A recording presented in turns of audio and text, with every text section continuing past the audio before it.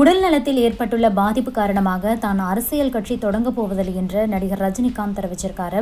என்னை நம்பி என்னுடன் வருபவர்களை நான் பலிகடா ஆக்க விரும்பவில்லை என்றும் தெரிவித்திருக்கிறார் நடிகர் ரஜினிகாந்த். இது தொடர்பாக அறிக்கை ஒன்றையும் அவர் வெளியிட்டிருக்கிறார். அந்த அறிக்கை குறித்து தற்போது பார்க்கலாம். அந்த அறிக்கையில் என்னை வாழ வைக்கும் தெய்வங்களான தமிழக மக்களுக்கு எனது அன்பான வணக்கம். ஜனவரியில் கட்சி தொடங்குவேன் என்று அறிவித்து மருத்துவர்களின் அறிவுரையையும் மீறி அண்ணாத்த படப்பிடிப்பில் கலந்து கொள்ள ஹைதராபாத் சென்றேன். கிட்டத்தட்ட நூற்றி இருபது பேர் கொண்ட படக்குழுவினரும் தினமும் கொரோனா பரிசோதனை செய்து ஒவ்வொருவரையும் தனிமைப்படுத்தி முகக்கவசம் அணிந்து கொண்டு மிகவும் ஜாக்கிரதையாகத்தான் படப்பிடிப்பை நடத்தி வந்தோம். இவ்வளவு கட்டுப்பாடுகளோடு இருந்தும் நான்கு பேருக்கு கொரோனா இருக்கிறது என்று தெரிய வந்தது.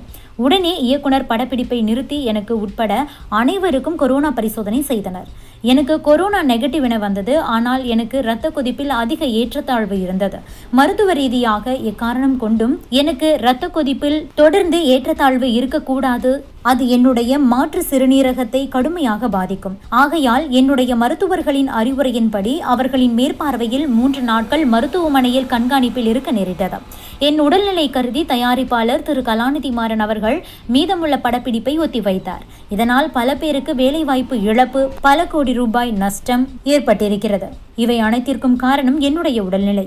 இதை ஆண்டவன் எனக்கு கொடுத்த ஒரு எச்சரிக்கையாகத்தான் பார்க்கிறேன். நான் கட்சி ஆரம்பிக்க பிற ஊடகங்கள் சமூக வலைதளங்கள் மூலமாக மட்டும் பிரச்சாரம் செய்தால் மக்கள் மத்தியில் நான் நினைக்கும் அரசியல் எழுச்சியை உண்டாக்கி தேர்தலில் வெற்றி பெற முடியாது. இந்த யதார்த்தத்தை அரசியல் அனுபவம் வாய்ந்த யாரும் மறுக்க மாட்டார்கள். நான் மக்களை சந்தித்து கூட்டங்களை கூட்டி பிரச்சாரத்திற்கு சென்று ஆயிரக்கணக்கான ஏன் லட்சக்கணக்கான மக்களை சந்திக்க வேண்டியிருக்கும். நூற்றி இருபது பேர் கொண்ட குழுவிலேயே கொரோனா பாதிப்பு ஏற்பட்டு நான் மூன்று நாட்கள் மருத்துவமனையிலேயே மருத்துவர்களின் கண்காணிப்பில் இருக்க நேர்ந்தது. இப்போது இந்த கொரோனா உருமாறி புது வடிவம் பெற்று இரண்டாவது அலையாக வந்து கொண்டிருக்கிறது. தடுப்பூசி வந்தாலும் கூட நோய் எதிர்ப்பு சக்தியை குறைக்கும் இம்யூனோ சப்ரசன்ட் மருந்துகளை சாப்பிடும் நான். இந்த கொரோனா காலத்தில் மக்களை சந்தித்து பிரச்சாரத்தின் போது என் உடல்நிலையில் பாதிப்பு ஏற்பட்டால் என்னை நம்பி என் கூட வந்து என்னுடன் அரசியல் பயணம் மேற்கொண்டவர்கள் பல சிக்கல்களையும் சங்கடங்களையும் எதிர்கொண்டு மன ரீதியாகவும் பொருளாதார ரீதியாகவும் பல துன்பங்களை சந்திக்க நேரிடும். என் உயிர் போனாலும் பரவாயில்லை. நான் கொடுத்த வாக்கை தவற மாட்டேன். நான் அரசியலுக்கு வருவேன் என்று சொல்லி இப்பொழுது அரசியலுக்கு வரவில்லை என்று சொன்னால்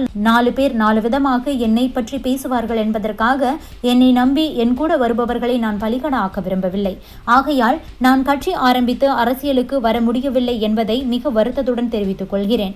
இதை அறிவிக்கும் போது எனக்கு ஏற்பட்ட வழி எனக்கு மட்டும்தான் தெரியும். இந்த முடிவு ரஜினி மக்கள் மன்றத்தினருக்கும் நான் கட்சி ஆரம்பிப்பேன் என்று எதிர்பார்த்து கொண்டிருந்த ரசிகர்களுக்கும் மக்களுக்கும் மிகப்பெரிய ஏமாற்றத்தை அளிக்கும்.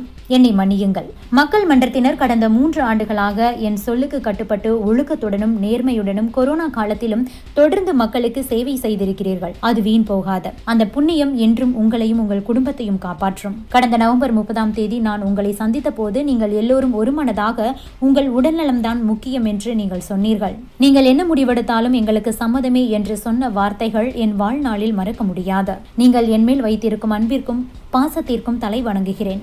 ரஜினி மக்கள் மன்றம் என்றும் போல செயல்படும். மூன்று ஆண்டுகளாக எவ்வளவு விமர்சனங்கள் வந்தாலும் தொடர்ந்து என்னை ஆதரித்து முதலில் உங்கள் உடல்நலத்தை கவனியுங்கள். அதுதான் உங்களுக்கு முக்கியம் என்று அன்புடன் கூறிய மதிப்பிற்குரிய தமிழருவி மணியன் ஐயா அவர்களுக்கு என்னுடைய மனமார்ந்த நன்றியை தெரிவித்துக் கொள்கிறேன்.